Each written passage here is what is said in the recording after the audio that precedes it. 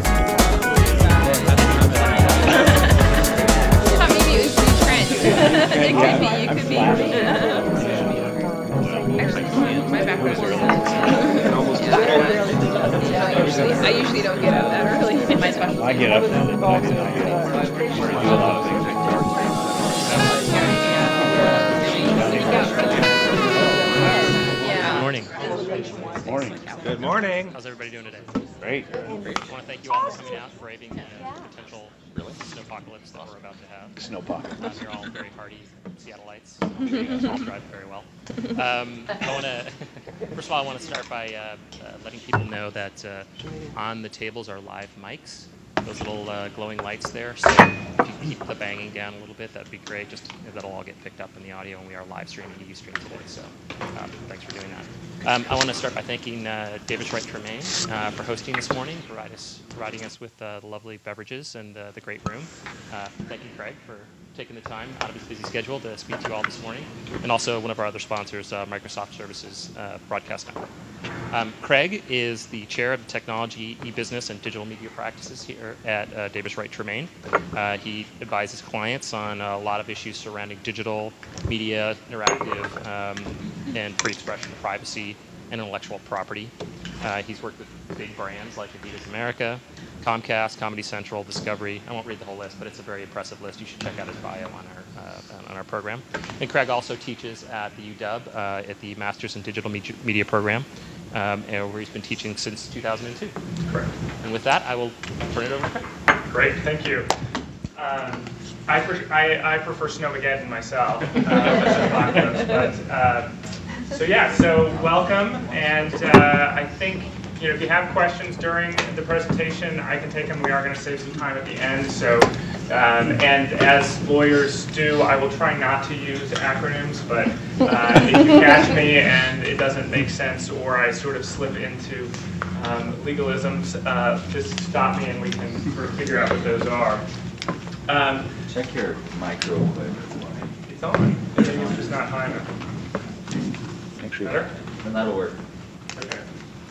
Um, I don't need to give you the statistics. You guys know this. You're in the business. You're here. Uh, it's big. Um, but what does that actually mean? Well, what that means is um, we've had some changes, and the law, you know, is behind technology, is behind changes in society, and so there is always a lag uh, that happens. And so what happens is that in the law, people start trying to apply old uh, doctrines to new technologies and new sort of social arrangements. And what we're seeing now and what we're in the midst of is, is really having the law try and cope with some of the social changes that have happened. So, you know, some of the things that, that are going on that, that impact um, how the law is approaching things um, are some of the things I'm sure you're uh, dealing with every day. But one of the things is, is that digital essentially eliminates uh, the friction in distribution. So instead of distribution uh, being an issue, so you know, it used to be in order to get a book, right? You go down to the bookstore, your limitations were on how many books they could actually get in that bookstore and display on the bookstore. Now it's about how do you figure out within the millions of books that are on Amazon how you want to find your book. And so it's really about search and curation and who do you trust to make recommendations, and really that's what social is all about. Um, the echo chamber effect. Um, I'm sure all of you follow blogs. You all have sort of your regular sort of list of blogs that you um, read. How many of you go out of your way to find blogs you disagree with and read those every day? yeah, exactly. And we, we, what has happened is that we are continuing to fragment. We don't really have these common experiences anymore. Um, frankly, the last probably common experience we all had was American Idol in season, I don't know, five or something like that. Um, and so, you, you, know, we have this um, notion of we only talk to other people who are either uh, thinking about the things that we think about or who believe the things that we believe about. And so, um, for instance, in my practice, I spend a lot of times time uneducating people before I can educate them about certain sort of legal doctrines because they've all gone out and found within their own sort of social sets what the belief is. So you have somebody who uh, is interested in, in coding, they go to Slashdot, they find out, you know, they have a certain opinion about what is fair use and what is not fair use, and they believe that to be true uh, because the people that they trust, the people in their social set, believe that. So you, we, have ended up creating a lot of predispositions uh, about how things are or ought to be. Um, obviously, um, by virtue of what we're doing here, since we're live streaming, you don't actually have to be here in order to, to get the benefit. Obviously, social uh, can, you know, is usually better um, when you can add both the, the uh, virtual and the, the real, but uh, the fact is that, that we really don't have to be present physically in order to do um, people's uh, work. I often say that my practice I really love, and the best thing about my practice is that I can do it anywhere. I can be on the road, and, and really there are no limitations in terms of what I can do. Um, I often say the worst thing about my practice is the fact that I can do it anywhere, because then there are no boundaries in terms of, of what it is and, and when and where I can do it. Um, the democratization of creativity and the democratization of, of distribution. The fact is that um, we all are content creators now. We all feel like we have something valuable to contribute, um, whether we do or we don't. Uh, and then we all now have these wonderful outlets that we can post these things to. And I think that that changes people's attitudes. When you have something that you created and you become a creator, it's a very interesting uh, change uh, in people's mindsets when you're not merely the consumer of the content, but you're also the creator of the content and how you sort of approach content and the balance of, of those equities. Collaboration, um, which is this notion that um, we see in organizations that they really struggle with collaboration because there's this presumption in social that you're going to collaborate with other people and that, that you get this benefit out of, of this collaboration.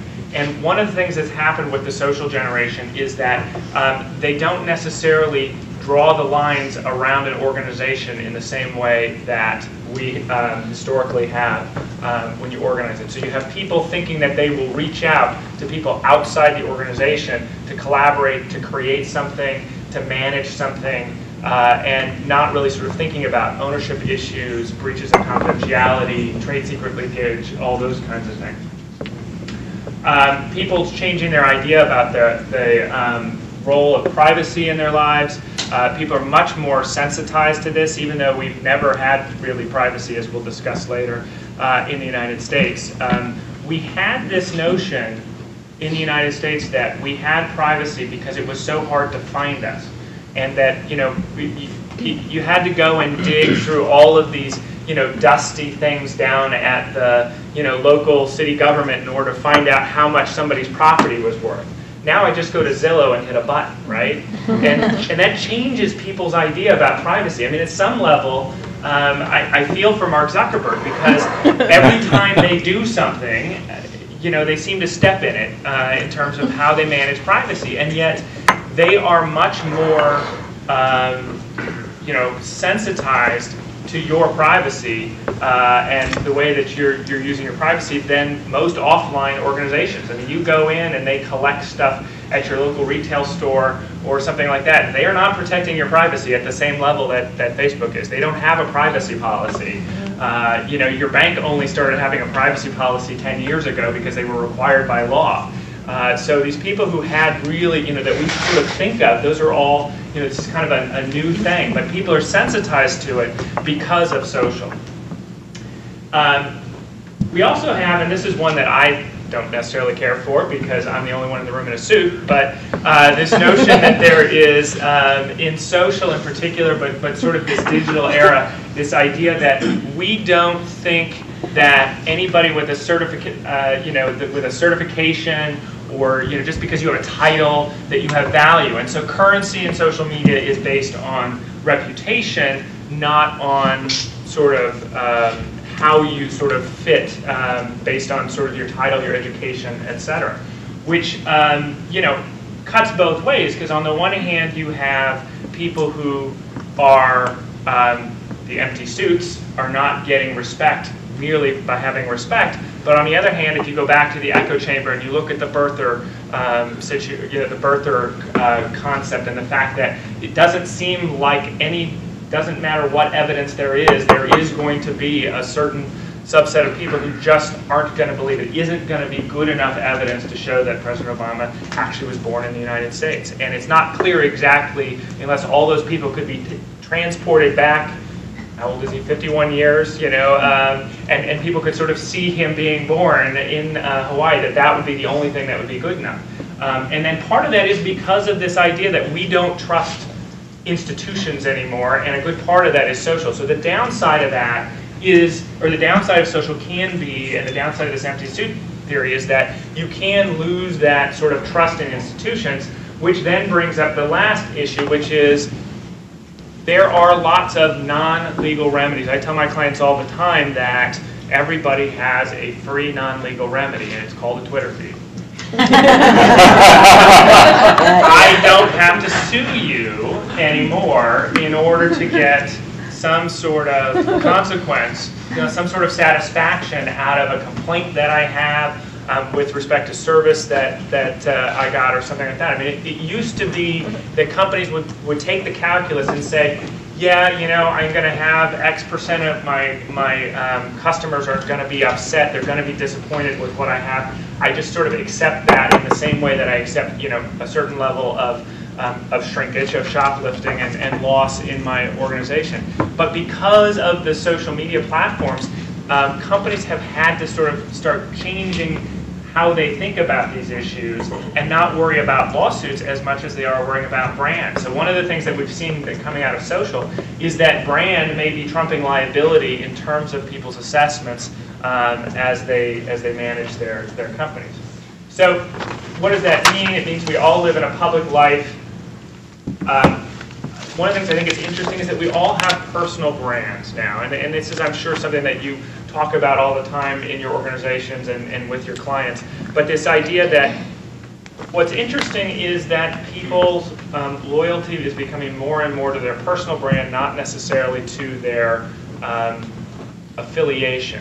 And so we're starting to see more and more, you know, it was a free agency that started at the beginning of the internet, and we're starting to see more and more people sort of become more loyal to how they're going to manage their own brand. Um, I'm always intrigued by the number of people, if you go and look at their Twitter feeds, they might be tweeting professionally, they talk about what it is that they do, but they don't talk about who it is that they work for. Now, part of that may be a fear that they don't want to have their employer, you know, be able to immediately um, pull them up when they run a search. Um, but on the other hand, it's kind of interesting that somebody says, I am a technology lawyer. It's not, I'm a lawyer at Davis Wright Tremaine. And I think that that's, a, sort of an interesting shift that, that happens because we're all talking about um, personal brands. And I think, and we see this a lot, I'm going to talk about this when we get to, to copyright. One of the things is that when people embrace social to a huge degree, um, hits and reputation and, and sort of how big the platform is, how viral things have gone, ends up being the currency that people, um, people use.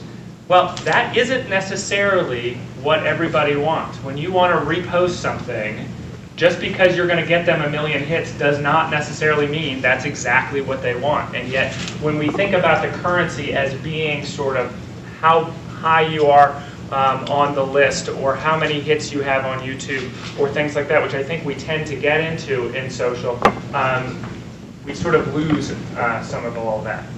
So that's just to sort of set everything up. Um, you know, I'm sure you're here not to hear my sort of uh, pontificating about the philosophical implications of social, um, but on what are your liabilities from leveraging social. So, you know, I think the first thing you have to do is figure out what is it and why is it that you're here, and why is it that you know what? How do you want to use social?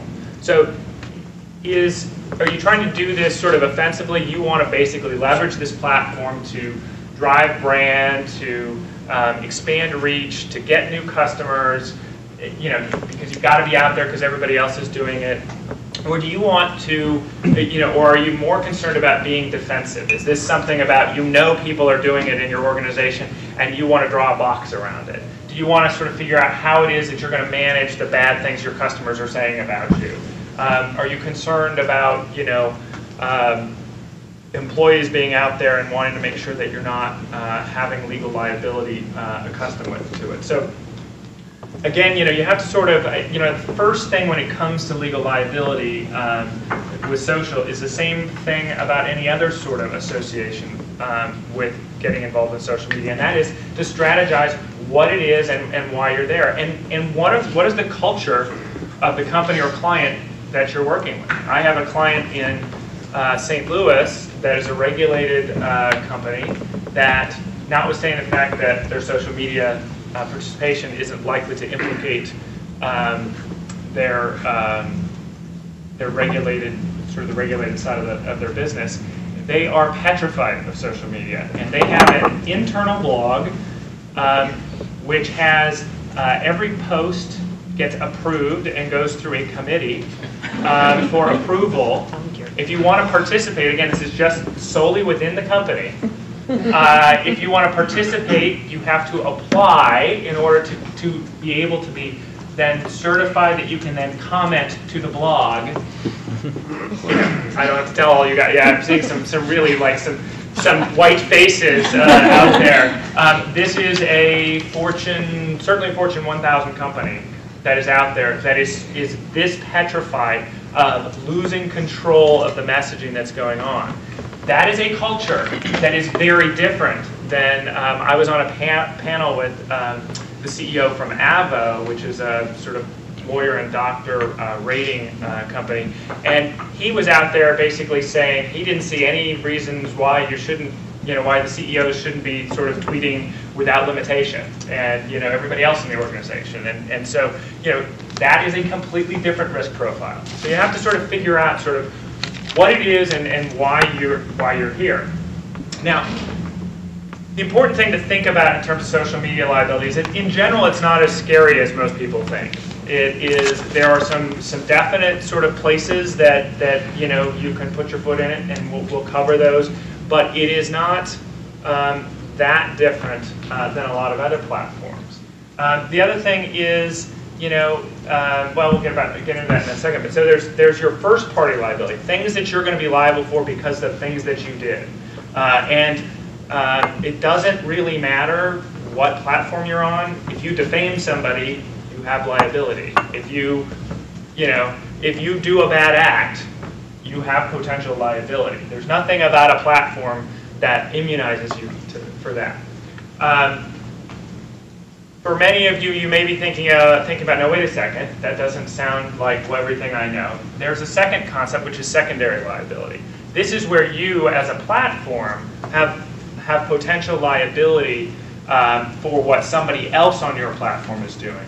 And uh, in the sort of social media space, uh, you aren't going to have liability for that. And we're going to go through this with, with more detail um, through the presentation. But, but the thing to keep in your mind is there is first party liability, which are things that you are doing for yourself or your employees are doing on behalf of what you're doing.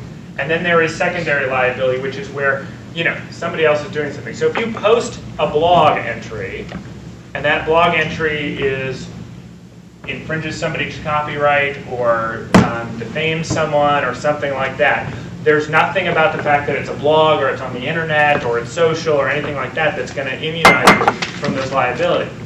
If you then have commenters come in to respond to your blog and those commenters themselves are defamatory or infringing or something like that, you're not going to have liability for, for, for those folks, which is fundamentally different, by the way, than every bit of offline media. Seattle Times has liability for letters to the editor that are defamatory, even though they never wrote them. So this is sort of a fundamental difference, and anybody who's worked in traditional media, there is a huge difference between traditional media, offline media, and online media, and it's something that anybody who is has clients or is working in the traditional media business um, will constantly run up against because there is this sort of um, old media mindset about the way that, particularly the way that defamation works, uh, that really makes them not necessarily um, completely embrace um, social media and digital media as, as they go forward. Um, and if you're doing anything international, I mean, most of my talk is all going to be about um, domestic, but anything that's international, you know, all bets are off. And um, for those of us in the Pacific Northwest, I would remind you that Canada is another country. it's, it's, I am now on fingers and toes the number of times I've had com companies come to me and say, okay, we're going international. We really want to sort of think about our strategy and our risks about, you know, selling e-commerce internationally and things like that. And I ask them what jurisdictions they want to go into, and it's usually Europe. And I ask them, why not Canada? And they're like, well, we've been in Canada for 10 years. You know? Did you not think that they have different rules? They have actually some very, some fundamentally different rules when it comes to, for instance, fair use under copyright, fundamentally different rules when it comes to privacy rights. Their privacy um, rubric is much closer to, to the European privacy rubric, which is, you know, really the opposite of the United States. Okay, so first party liability. Basically, this is you know, you, you, as I said before, you have liability for what you said. And we've had lawsuits where people have um, posted reviews on Yelp where they, uh, the restaurant disagreed with the review and filed, filed a lawsuit. Um, um, the first Twitter lawsuit is uh, currently just about ready to go to trial. Um, not, for instance, if you were going to go and, and bet on who the defendant would have been on the first Twitter lawsuit, you might have put money down on Courtney Love, and you would have been right. Um, but uh, so she actually posted on her Twitter uh, feed something about I forget now what the, the cause of action was, but, but basically, uh, someone failed to um, to uh, uh, do something that she expected, and the person found it defamatory. Uh, but we've had other sort of claims and, and uh, complaints filed. Uh, Kim Kardashian is defending a claim about um, denigrating a, a, diet product on on Twitter. So you can still defame somebody in in 140 characters. So, so what are these areas of risk? And we will we will do a couple of these in, in depth, uh, but but I just sort of wanted to give you sort of a flavor of, of the things to be thinking about. So first of all, defamation, which we'll talk about more. This is basically where you're saying something false and damaging about somebody that's not true. Well, I guess it's false, it's not true. But, uh, false and damaging. Um, infringement, are you posting something that's infringing? Are you linking to something that's infringing? Um, linking generally doesn't have liability, but you may have some other kinds of, of uh, uh, potential infringement issues. Um, contests. People like to um, use the social platform to run uh, contests and sweepstakes. Um, in order to um, you know, um, run a proper contest, you have to have rules. Uh, and there are 50 different states that have 50 different requirements as they relate to contests. Um, it is hard, again, at 140 characters to get void where prohibited, um, you know, no purchase necessary, everything else that's in that sort of uh, litany of disclaimers and everything that's in the rules and things like that. So how are you going to get the proper notices? Um, I've heard a couple of the, the leading contest and sweepstakes lawyers in the country speak. Um, their view is just don't um, give anything um, on, uh, don't give anything valuable through social media. Uh, one of the things in a contest sweepstakes, nobody's going to sue um, over a free CD that you gave away over Twitter. They might sue over a four-year education or a trip to Hawaii. Uh, that they felt was not sort of issued properly. So, so think about one of the ways that you can sort of manage risk in contests and sweepstakes is you just don't have something that is of sufficient value that people are actually going to going to raise a, a, a, claim about it.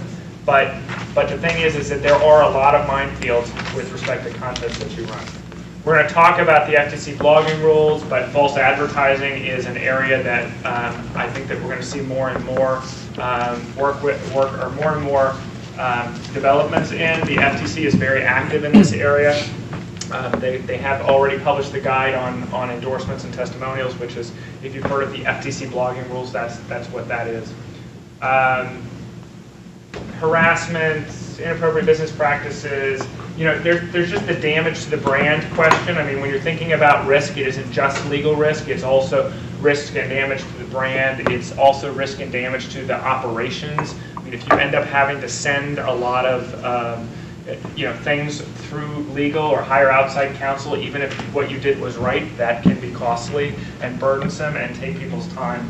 Um, something else that a lot of people don't think of, and we'll, we'll talk about this uh, when we get to, to building social media policies, um, but there are a number of regulations that will govern a company, and some of these are um, specific to uh, to the industry that they're in, uh, but others are, if you're a public company, you have certain SEC disclosure uh, restrictions, and if somebody goes off and discloses something um, through their Facebook page, that can create um, you know, create liability. Um, I, they, there was uh, just yesterday there was a Disney. Um, I don't know what his position was. I think a mid-level executive who had disclosed the Disney earnings report early, um, and he just quote avoided jail time unquote as part of his settlement. Um, so this can be very serious. Um, the other thing is litigation holds, um, quiet periods. Uh, litigation holds are, um, social media is media. This is just like email, it's just like written documents. If you get sued, you're going to have to produce all of this social media as part of that uh, litigation. So there are policies that are required, which are called litigation holds, which require you to then save all of the documentation. You can't go through your, your normal document destruction um, uh, process, but your document, um, uh, but, but you may not actually have thought about the social media within an organization when either you're going through production to respond to a lawsuit, when you are developing your litigation hold strategy, when you're um, developing your document retention strategy. Uh, and all of these can actually have significant um, you know, litigation consequences if you don't do this right. So, you know, the companies that you work with or that you are employed by are or should have a series of policies like this, and however you design your own, or however you design your own sort of social media strategy, that needs to interlock with all these other policies, uh, because those are out there and, and those can create uh, problems. Yes, sir. Do you have any examples of contests that you've seen run in the social media environment that you would advise not to have been run? Um, you know, most of the things that I've seen have been things where I think people got too cute. And I don't know of any litigation that's come up with any contest that's been run. Um, I always think, um, you know, you normally don't get the benefit of disclaimers when you say, oh, here's the blah, blah, blah legal stuff, um, which people tend to get, you know, or they're like, hey, I know we have to, to list some legal stuff, so here's the link. You don't have to go click to it, though you know, which I have seen. I've seen that. Okay. Um, you know, so normally what I see is there's a series of tweets. You know, here's the here's the contest. Here are the basic disclaimers. Here's the link to the to the contest and sweepstakes. I think that's really best practices. Um, but you know, I would say anything over about $500, I would probably be careful about. Um, certainly on Twitter. On Facebook, you know, you've got a little bit more um, ability to manage the optics around it. So I think that you can probably have a little bit more um, freedom where you've got more real estate to, to play with. So Okay, that makes a lot of sense. That's Yeah. very clear. Yes, ma'am. So Facebook, they, they do guidelines that you're supposed to follow for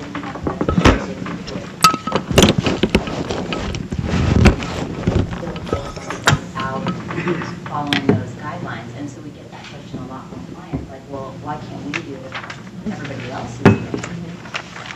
Um, well, I mean, you do that to your peril. So, so one of the things that I always tell my students is don't confuse um, not getting caught with being legal. Uh, you know, I am certain that at least half the room broke the law on the way here. You sped, you jaywalked, you parked illegally. Um, you know, it's, it's something that um, we do as a matter of course. And the thing is, is that companies have guidelines. These are contracts, right? We are we are now in a digital era. Um, the most um, we enter into contracts all, uh, every day. I mean, you all are probably, many of you, entering into contracts as you're surfing during my uh, presentation. Um, because each time you hit a website, you've just entered into those terms of service, which is a contract. And so this is a contract with Facebook. When you run a contest through Facebook, you are agreeing to their terms of service, which is a contract, which means if you don't abide by it, Facebook has a breach of contract claim against you. Now, whether they're going to enforce it or not is really up to them. But it does mean that there's a breach of contract situation, which means that Facebook can take action and really you're going to have very little recourse. Um, now, you look at the business realities of, of Facebook and you know is this a priority of Facebook? They're pro- it's not, probably only going to be a priority of Facebook if and when they actually um, get a complaint or something is false and misleading. Um, you know, Facebook's probably not going to enforce that contract unless and until there is a wide variation from the rules. But that's no different than um, the FTC has priorities about when they enforce things. Lots of people are going out there violating false and misleading advertising claim um, restrictions every day. It's only when somebody has been, you know, there's a, a really bad sort of fact situation, somebody just follows through and, and complains enough, um, or the FTC has a priority. They want to eliminate a certain kind of, business process uh, or advertising concept, and so they'll go after it. So you'll see that they are very, um, you know, the FTC is very sensitive about targeted advertising right now. Uh, and so, you know, you have to be very careful in that space in a way maybe you don't have to be careful about, you know, banner ads or something like that. Okay. So that's sort of the categories. Um, I mean, you know, invasion of privacy and harassment. We'll talk a little bit about privacy later, but but you know, these are not issues you're generally going to have to deal with. But but harassment in in the social space that that often is sort of the default that a lot of people who feel like they've been victimized. There's this sort of uh, I've just been harassed. There's a harassment. That's sort of the, the sort of the, the knee-jerk response that that is the uh, what, what goes on. So you need to sort of at least be cognizant of, of, of that potential. So defamation, this is the same thing. If you think of libel and slander, we're all in the same category. Libel and slander are just subsets of defamation. Defamation means that you have liability for a statement of fact, not opinion. So you were arrested, not I think you're a bad guy. Um, that's defamatory. It actually causes damage to your rep- reputation Other concerning a living, identifiable person or entity, or in some states, vegetables. Um,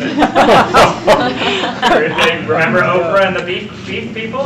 That's because there were um, laws about denigrating beef in Texas.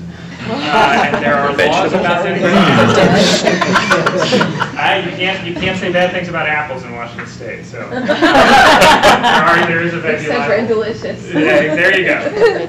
Um, it has to be so, but but you can't defame a dead person. You can't defame somebody who can't be identified, um, and that's not identified by everybody. That's identified by the neighbor. So if I sit here and say, um, you know, the person in um, you know the red and blue plaid shirt that was at my conference this morning, um, the fact that all of you remember the red and blue plaid shirt is enough that that defamation um, has been published. So, so you, you can't get too, just because you don't name someone doesn't mean that you're not quote naming them for defamation purposes. Um, it has to be false. Truth is a is an absolute bar against defamation. Uh, and then you know there's a, there's some different fault standards for for public people. It's um, actual malice or reckless disregard for the facts. Um, for private people, it's uh, it's just a mere negligence standard. So um, if you're going to be edgy, you should be edgy and uh, and say bad things about famous people, not uh, non-famous.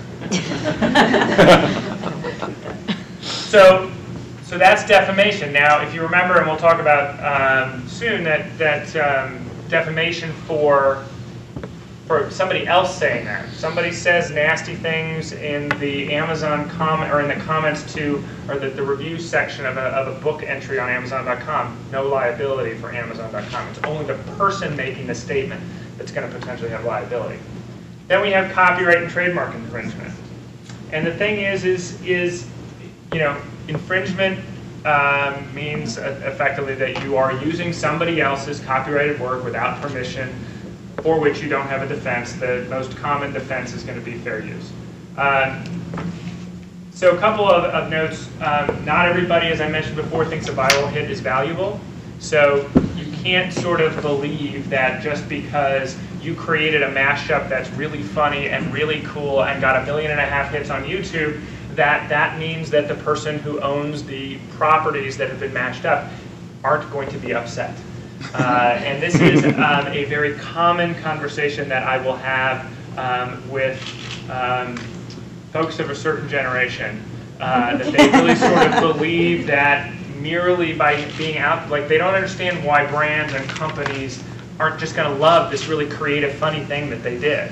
Uh, and you know, the fact is, even this just, um, I mean, if you think about a luxury, well, the, a good example is, um, so if you remember back to the Volkswagen ads, um, where they, you know, they'd be just driving down the street and then suddenly they get or hit on the, uh, or you know, uh, T-boned or broadsided, and the, the airbags would go off, and and it showed how safe Volkswagens were.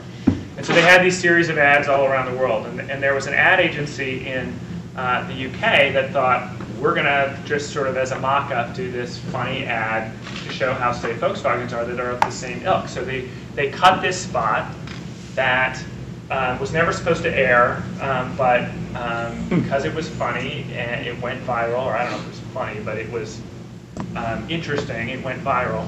And it has somebody going around, they go to the, goes to the hardware store, he goes to two or three other places, and it looks like he's just sort of loading things up in his, uh, I think it was a Golf, uh, and then he pulls up in front of a club, and then he blows himself up, and the car doesn't blow up at all. The explosion is completely contained within the car.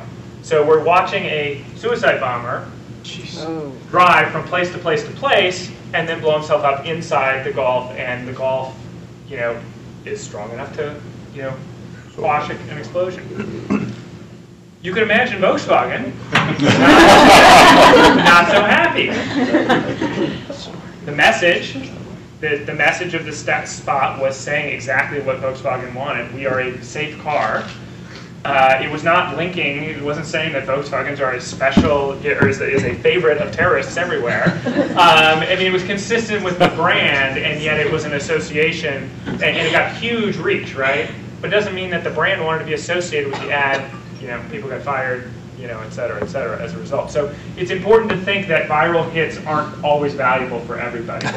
um, we, we talked earlier about terms of service. You need to think about what it is that those other platforms are binding you to. And it's especially important if you're doing anything edgy. Um, acceptable use policies are often nested within terms of service and they're very nasty and you should be aware of sort of what those things say because you may find out that people can turn off um, what it is that you're doing without any kind of due process or any kind of appeal process or anything like that. And just because, um, and I don't know why I have to continually repeat this, but just because it's on the internet or it's on a social media site doesn't mean you can do whatever you want with it. Um, and that is, interestingly enough, something that is not just uh, sort of the entry-level folks at ad agencies, uh, but Agence France-Presse, which is the French version of the AP, they learned the hard way uh, when Mr. Morel uh, was taking photos in the Haitian earthquake, decided to post those on Twitter, and then AFP said, hey, that's great. We will then go and distribute all of these photos uh, as part of our wire service. And so Mr. Morel, who is a professional photographer who just happened to be in Haiti at the time, ended up not being able to sell his photographs because AFP thought that the Twitter terms of service would allow them to essentially resell them. There's some complicated facts to the to the. Uh, to Stealing's the, okay. well, right, right. I mean, the facts are a little bit more nuanced than that, but let's face it, AFP lost badly. Um, And, and, and interestingly enough, AFP continues to take the position that they didn't do anything wrong in this case. Um, but again, you know, and, and the thing is, is that photographers and, and also, you know, the Gettys and photo or Magnums of the world are the most, um, they're often the canaries in the coal mine. They are the ones who are the most aggressive. They're the ones who are the least likely to be reasonable if you want to try and settle with them. Um, so beware of photographers. Um, or, you know, yes, sir. Not that I'm a photographer. Took three shots of me already, so I'll, I'll watch it later. But how does that work for if you know you put a picture up? I don't know you're a photographer. I think it's cool, and I retweet it. Yeah, well, I mean, so, so the non, from it. If, if you, yeah, I mean, it, it's really a commercial, non-commercial kind of thing. I mean, if you want to retweet something that somebody threw up on TwitPic, you're probably going to be fine. Um, but it is a potential risk. I mean, when I upload something, and this was the theory of AFP, which was if I'm something's being uploaded, if you read the Twitter terms of service, they allowed you to retweet things, and, and that you were getting a license to basically do that. And what AFP did was sort of the next step, which is we're going to grab this. Not only are we going to retweet it, but we're going to resell it, and we're going to resell it on non-Twitter platforms. And actually, after this case, Twitter changed their terms of service to sort of be a little bit clearer about where that line is. So you're not doing anything yet that's a problem. But we've seen this, um, you know, Flickr, for instance, um, you know, and, and sort of clearances where you have either things that are available on Creative Commons or other places end up being difficult um, to, to manage. Uh, Flickr ended up having a problem because they grabbed a photo um, and then they used it in a before uh, image instead of in a before and after sort of advertisement. You know, so I guess the, the rule is if you're going to actually grab something from Flickr, you should probably make sure it's the after picture, not the before picture. uh, but um, but that was you know they grabbed um, without sort of permission from either the subject or the um, or the uh, photographer. Um, and if you're doing if you're doing something editorial, you just need to get permission from the photographer. The photographer is the one that owns the copyright in the work. Um, if you're going to use it for advertising, you're also then going to have to clear the person who is the subject um, of the of the photograph because that person's going to have rights to publicity, which gets me to my next um, issue, which is, you know, it's really interesting. I had a client call and say, we had an employee who shot some videos for us uh, demonstrating how we use a certain product. And those videos we then uploaded to Facebook, uploaded to YouTube, et cetera, and had them um, had them, uh, you know, had people be able to understand how to use our products. This person then left the company and went to another, um, I guess probably a competitive organization, and turned around and said, yes, I understand that this company owns the copyright in these videos because I was an employee when they shot those videos, but they never got a clearance of my rights of publicity while I was in the organization. And the fact is, I am there selling a product which means that this is an advertisement. It's a how-to video on how to use a product, but it's an advertisement, and therefore my rights of publicity are um, are are in, involved in that. And because there's no clearance, now that I, I have withdrawn my permission, and so they can't use these videos. And Facebook, you must take them down. And so we had to go back and forth um, with Facebook and talk about whether or not we actually had um, permission and everything like that. So I would advise that you get clearances from your employees as well. Yes, sir. Isn't there an exception for the model releases that you're talking about, people and videos, for bona fide news organizations?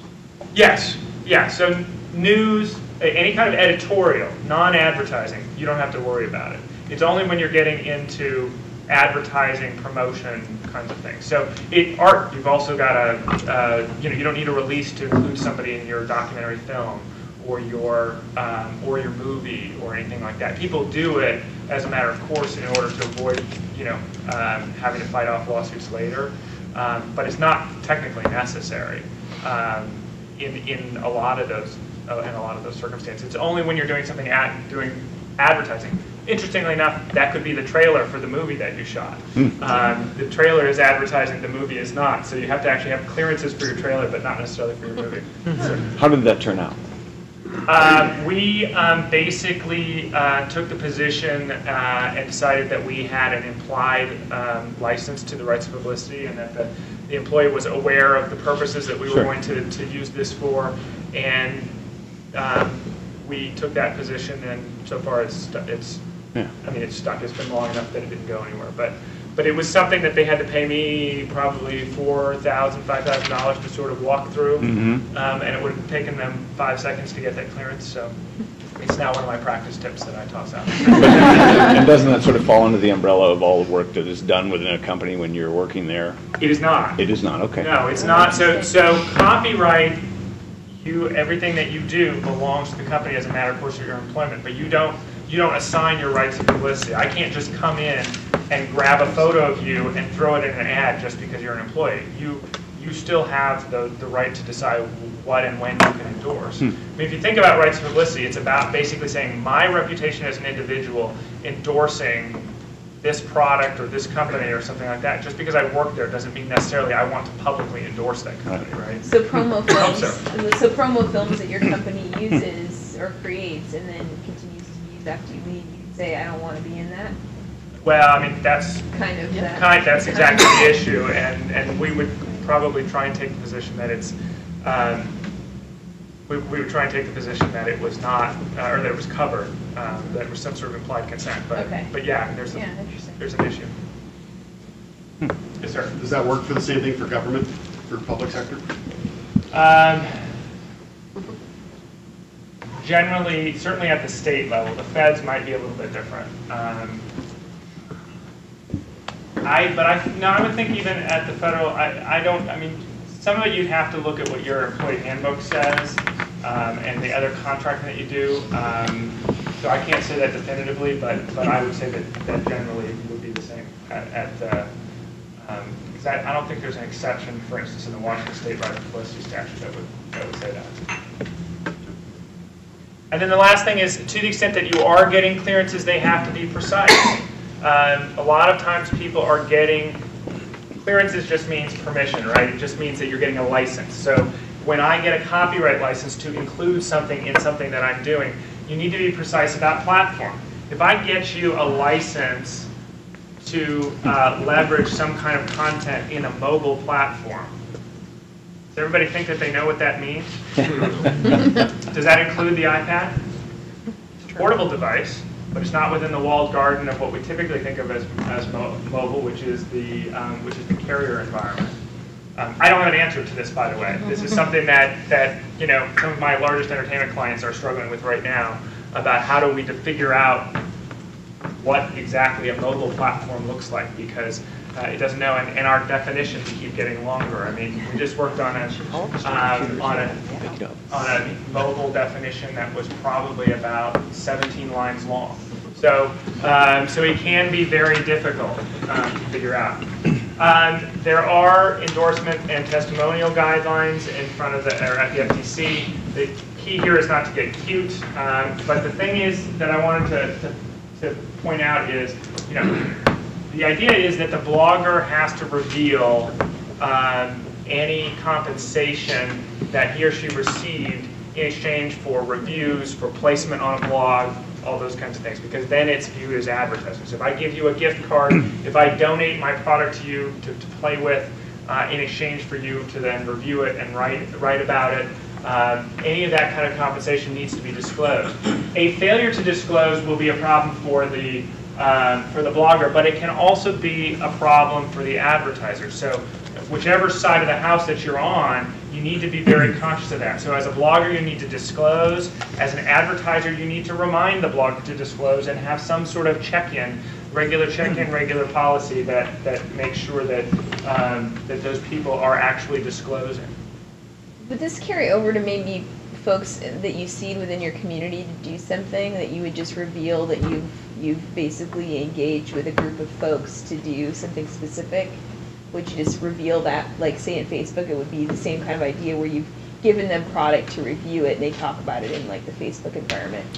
Um, yeah, I mean, those, those would be covered under, uh, you know, as bloggers. Anybody that you've essentially paid to, um, And, and paid, would that mean free product would con- be free product considered account, being absolutely. paid? Okay. Absolutely.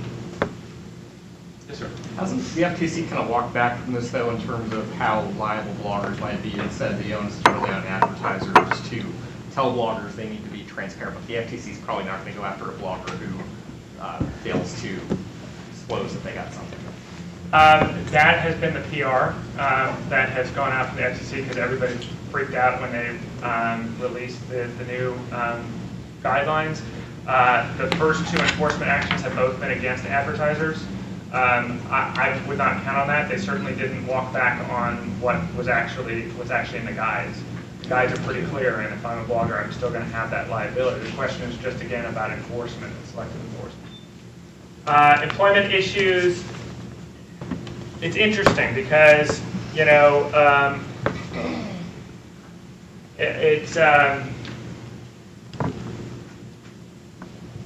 five years ago, we would have said there are no limitations on sort of using um, anything that you can get to legally on a social media site in, in employment. But we actually had a really interesting case uh, that just came out, um, which I actually tweeted a, a summary uh, that a colleague of mine wrote uh, yesterday, and, and that is that um, you can't, uh, an employee was fired for calling her supervisor a scumbag uh, on Facebook. And then the NLRB took the case and basically said that social media is the new water cooler.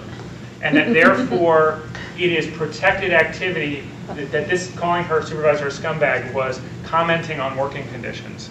And that therefore this was um, protected activity under the um, under the NLRB. So if you are subject to the National Labor Relations um, Act uh, as a company, there are going to be limitations on what you can do. The other thing is um, on employment. Uh, one is Germany in particular is getting much more aggressive about um, whether or not you can can look at um, Facebook or looking at social media communities in, in any kind of hiring or firing um, decisions. Um, and something else to think about is, does using social media for hiring decisions create a, a disparate treatment issue? What I mean by that is, when you hire, if you are only hiring through social media platforms or primarily through social media platforms, you are by definition then limiting your um, limiting your scope of, of who your potential hirees are, and you may be creating some sort of a, a basis for bias claim uh, later. Liability for third-party agents. In general, the rule is, I mean, there's some cases and stuff here, but the rule is generally, if it's your employee acting within the scope of employment, there's liability. If it's your employee not acting within the scope of, of employment, even if they are on your network, no liability. So, if you have somebody who um, is using Facebook for non-professional purposes and defames somebody on Facebook, just because they're on the company network does not mean that the company is going to have liability. So, first party liability. So now we go to second party liability in a remainder of time.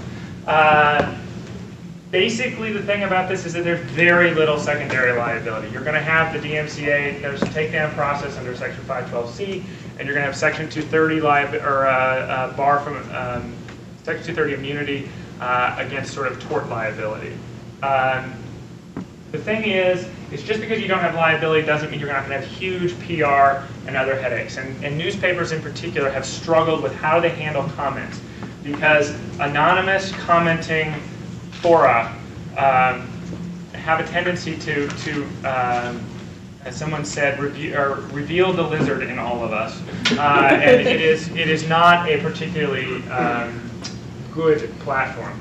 Uh, so trying to figure out how that, that goes, but it doesn't mean necessarily that you're going to have liability. We talked about defamation law. Um, so section 230 is this bar against tort liability. It is a strong bar. It is one that says that no interactive co computer service, which includes websites, it includes uh, social media platforms, etc., has liability for another speaker that's, that's not themselves. So, um, and we've had a series of cases that essentially have gone through and said, we don't care whether you're paying them.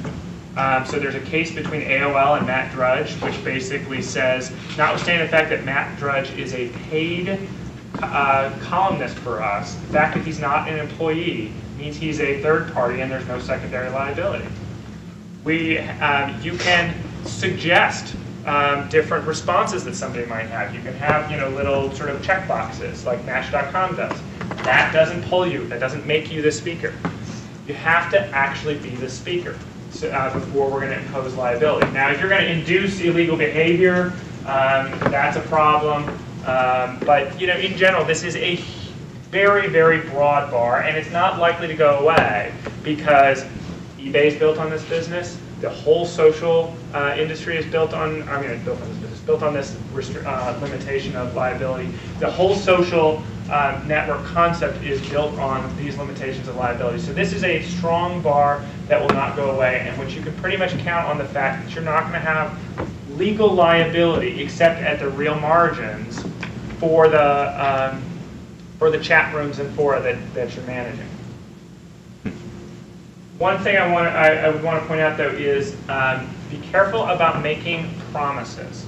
So there's no liability for doing things, but if you then turn around and promise that you're going to do something and then don't follow through on the promise, you can actually um, break down that, that bar against liability. And this is a problem that you have counterintuitively. It's one of the biggest problems with social in an organization is your best employees, not your worst employees. Your worst employees are often going off the reservation. They're not acting within the scope of employment. You can, can avoid liability for what they're doing. Your best employees are trying to make the client happy, make the customer happy. They are making promises which may not necessarily be in your best interest, which you then don't fulfill, and which you might not have otherwise had liability for, but which now you have liability for. Best clients.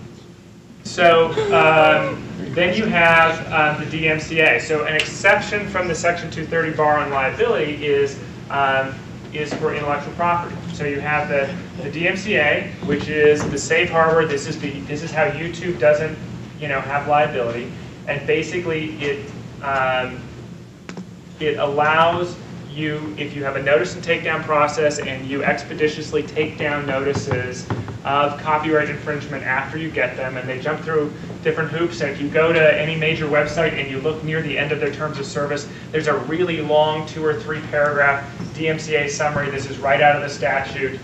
That's all you need. And interestingly enough, most cases, or all the cases so far, have been pro defense. So if you build a platform and you have a notice and takedown process and you go through sort of the reasonable structures, in general, you're not going to have uh, liability for copyright infringement that is um, posted by a third party on your platform. Again, this is secondary liability. This is not your own liability. This is secondary liability. The idea here is that you um, can't have liability if uh, for things you never knew about.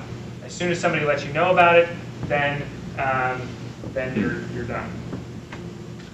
And there's no liability for linking. So if you want to put up that inline link, if you want to have that little frozen screen with the play button in the middle, um, or any other link, um, unless you're flaunting a court order or distributing child porn, you should be fine.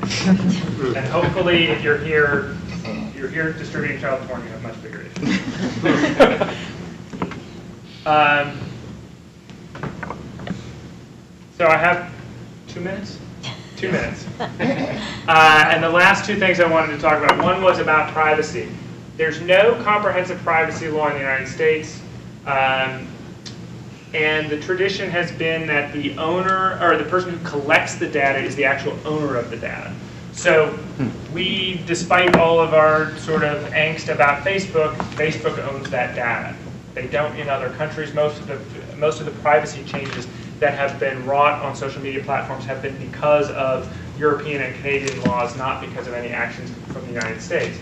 Um, and with consent, pretty much anything is possible. So if you go and read these privacy policies, you'll probably discover that you have agreed that your data can be handled and managed in ways that you never really realized. So what's the problem? Um, you know, there it's just there's all the noise and the consumer backlash, and a lot of sort of people define what they're going to do through their privacy policies. And, and both on the terms of service and privacy policies, most of the claims that we get and that we see are because not because somebody did something bad, it's because they did something that was different than what they said they were going to do. So if you say you're going to give it away to anybody under any circumstances without restriction, you can do that. And if you can make it stick from a business standpoint, then you're not going to have liability. The problem is where you said you were not going to do something and then you went ahead and did it anyway. Um, that's when the FTC gets involved, um, the Google Buzz um, sort of disputes that happen, the Facebook uh, stuff uh, with Beacon, where with the FTC, all of that stuff really sort of resulted from the failure to actually follow through and, and, and act consistent with what you said.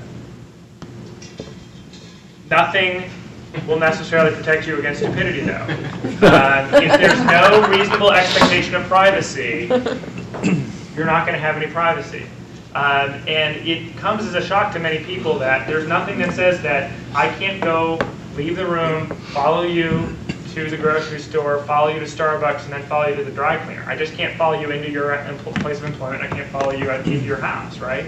But you know, as long as I don't sort of rise to stalking, um, you know, I can pretty much find out all of these different things. So. Um, but, you know, we, we're starting to see a lot more noises from government regulators on privacy. And then the last thing I'll say is just, you know, how do you think about building a social media strategy? Um, you know, I think it, you know you need to again go back to what I was talking about at the beginning, which is thinking about why your company is involved, what it is that's the priority of the company or the client uh, that uh, you know when they're crafting policy who's actually going to use it? And what you know if, if you don't make the policy practical everybody's going to ignore it. And so then you know you have a policy that's essentially unenforceable because you haven't actually applied it against people. So you need to have some sort of, of um, uh, way to you know that's realistic. Um, and then the, the two other things I would say to think about is one is how do you draw that line between employee activity and private activity, and particularly with small organizations, it's very hard. You know, you may only have one Twitter feed, and you're tweeting things about your professional life at the same time you're tweeting things about your personal life, and when you have one or the other, and how do you manage those things, et cetera. And that can be very difficult uh, to uh, to define, and particularly when somebody is identified with the company. I mean, if Phil Knight from Nike is tweeting, we presume that everything he's doing is probably in furtherance of Nike, even when he's talking about his kids swimming, right? You know, like, like you know, you have to sort of, unless you're very clear about drawing those lines, it's going to be difficult. Second thing is, how do you have your process handle unexpected hits? You know, a lot of times people will not know what is suddenly going to go viral in social media. And so they may have something that's this really small thing that nobody really is thinking about. Um, if you think about the Gray album, Danger Mouse did a mashup of Jay-Z's uh, Black album and the Beatles' White album, and he put this together as the Gray album and distributed it to a couple of friends. People loved it, and suddenly there are half a million, a million, two million downloads that are going around. Nobody really cares about errors when they've only happened and it only goes out to 50 or 100 people. But suddenly, and, and how do you handle this situation where suddenly the VP of marketing goes, look, look at how much our brand is out here. We are now, you know, getting buzz and people are mocking us on Letterman. Um, and how is that compare with the fact that, oh, by the way, we never got clearances and we have a copyright infringement problem and, you know, and so, so, you know, if you don't have a process, if you're not thinking about what's going to happen with viral hits. So last things are how you're going to build some uh, social media policies, but I am, uh, we've talked about a lot of these and I am over time. So, uh, so thank you. I will stick around if people have uh, specific questions, but I know people have to go to work. So. We have a round of applause?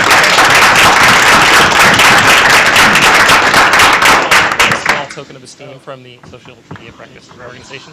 Uh, once again, I want to thank uh, Kraig, especially Davis Wright Tremaine for hosting us this morning, and uh, Microsoft uh, Business Media Network uh, for being a great sponsor. And thank all of you for coming out and supporting Social Media Breakfast. It's great to have you all here, especially on a day like today when you could be trapped in your cars for the next year. if, if, uh, do you have time for a couple of questions? Yeah, You wanna take a couple of questions? Anyone would like to? Um, what's the policy on linking to a PDF, particularly if it's found off of a website? That's, you're not going to have liability for No liability? that, no. Okay. I mean, in, in, you know, you're just giving an address basically, and so all the cases um, again, in the United States, all the cases really are about um, um, permit, uh, permit linking. Uh, The the one caveat to that is if you um, are linking to a leeching site, which is basically just a collection of infringing works. So if you're going to link to, like, for instance, a torrent site that all it is, or, you know, or you're going to build a site that all it is is a bunch of links to infringing content, um, the uh, studios and, and the uh, PROs have been getting more aggressive about that. But that's generally not something people are doing in their regular business. Yeah. Can you address uh, registering your blog with the Copyright Office? I- You know, um, I I would not say that that is necessary. You, you obtain a copyright as soon as something is original, fixed, and creative. So uh, effectively, the copyright registration is something that you're going to get, or that allows you to bring a lawsuit. Um, But beyond that, doesn't offer a huge amount of um, copyright protection because you're already getting um, pretty much uh, everything else that's, that is available. And considering how much, I mean, because you, you can only submit for, as part of the copyright registration, something that's fixed in time. So, you know, the thing about the internet is that so much of the content is, um, uh, you know, is ephemeral and is constantly changing, because you're only going to get a copyright in whatever happens to be as part of the registration at that time. So you then don't have a copyright registration in any subsequent blog posts. Uh, so we tend to only recommend copyright registration for things, you have a completed film, and there are four corners of a box. Um, even newspapers don't register, they used to register their daily editions, and they would send that in and do separate co- copyright registrations, but um, most of them have even stopped doing that at this point. Yeah. We have a question from the Twitter stream. Uh, What is the liability when an organization posts photos or videos of a client from an event? Is a release required? Um, I would generally say yes. Um, it is good to get a release. Um, if it, this comes down to the purpose of the posting of the um, of the event, um, because you know, and, and this is particularly for nonprofit organizations from their benefits. This is something that you know, on the one hand, they're trying to promote donations. It is effectively advertising. At how much fun you'd have giving lots of money to us. Um, you know, how do you, um, you know, how do you manage that?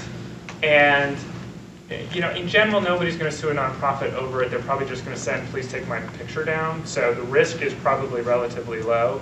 Um, but I'm not sure, and, and especially because it's posted on a website, it's easy to take down. It isn't like putting it in a brochure. I mean, I would say from a from a practical standpoint, the rule I would do is I would definitely get a release before you put anything in um, some sort of a, a a marketing material, secondary piece, little booklet, those kinds of things, because if somebody does make that demand, that's going to be cost the organization money to pull that stuff back. Um, where if it's online, somebody doesn't want to be included, you just pull it down, no harm, no foul. Nobody's really going to bring a lawsuit over that, unless they're, unless it's embarrassing or, but you know, if it's just somebody standing in a tux on the red carpet, you know, I, I don't think that that's, um, you know, I wouldn't immediately go get the release. Um, but you know, I have organizations that do that as part of your ticket process. You sign a release. Uh, you know, it's just you just need a little one paragraph, paragraph and a half kind of a thing. Thank you. When you're establishing, as, as a, a young company, you're establishing rules for uh, a social media platform or whatever, and you have an end user license agreement for a site, say, uh, or terms of use. Uh, I've noticed, because I actually read those things when I uh, buy stuff. Um, yeah, how weird is that? Um, Very. yeah, yeah. But I, I found a lot of interesting things in them, and it's given me recourse to uh, deal with companies later um, where some of them don't even know what's in their end user license agreements, which is yeah. Um, Is there sort of a, a- an off-the-rack E EULA, uh, or, or um, how does one best acquire such a, such a? So in terms of service, privacy sense. policies, U- uh, EULAs, and user license agreements, they are generally within the same parameters. A lot of times going and finding somebody who does what you do is, um, you know, and then not copying it. Yeah, because those are Uh, copyrighted too. It it is, but I mean, you know, those are not things that anybody is going to um, squawk about. I mean, no, it's not like anybody writes a contract from scratch.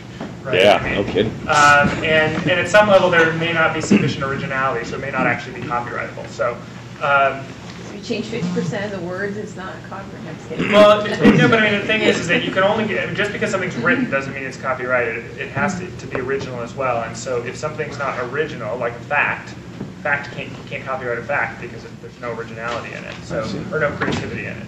And so, um, you know, so we might say that about EULAs. But I would just find something and I would uh, then uh, take that and make it, um,